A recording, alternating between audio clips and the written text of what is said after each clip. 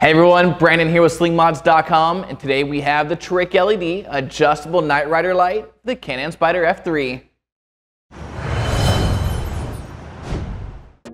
We partnered up with our friends over at TricLED to bring you guys this. This night Rider style LED light has been sized perfectly to fit in this small groove between your front storage compartment and the F3 nose. The lights are encased in a smoked black plastic tube for a super stealthy look and protection from the elements. The LED strip features seven different color options and can be run as a solid state color across the entire light strip or as a scrolling light show to your favorite Knight Rider sequence. So now follow me as I walk you through the installation process.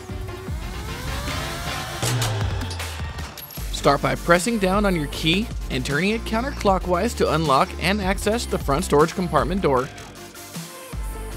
Pop off the top plastic service panel and remove the frunk bin.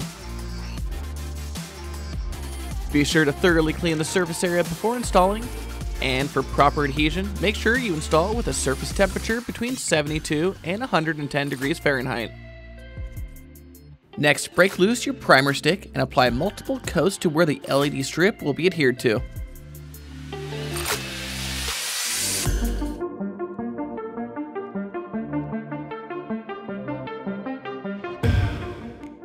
Now test fit the strip so you know where to align the ends.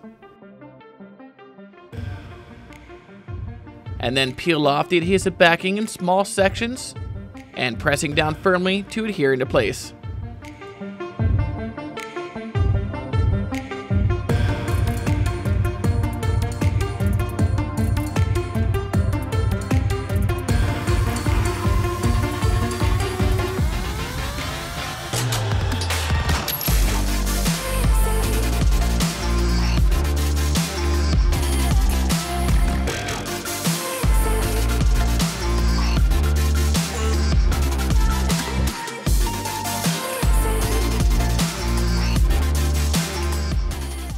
Then use some masking tape to hold the center section down while the adhesive cures against the front hood for about an hour.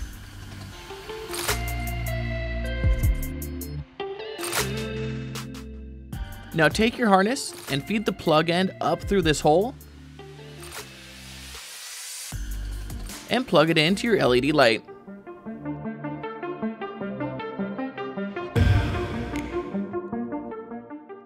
Once connected, pull it back down through the hole.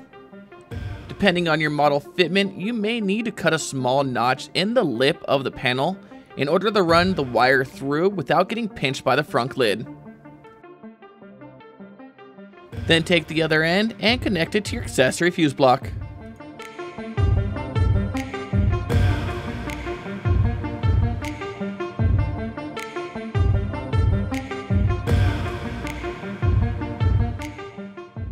Can now put your frunk bin back in.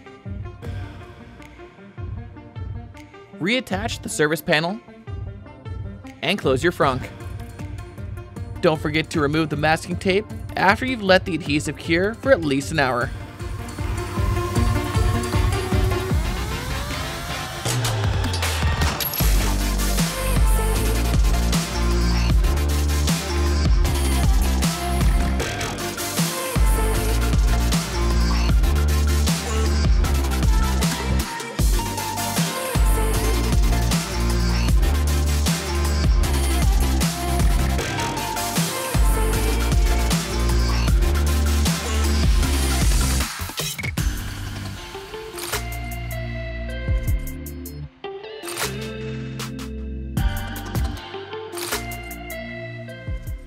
Now that we have the product installed, let's go over the simple to use remote control features.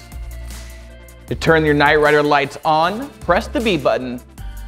Each consecutive push of the B button will scroll through all the solid colors and then the Knight Rider mode. The C button is not used and the D button changes the speed of the Knight Rider mode. It will go from slow to fast and then cycle through again.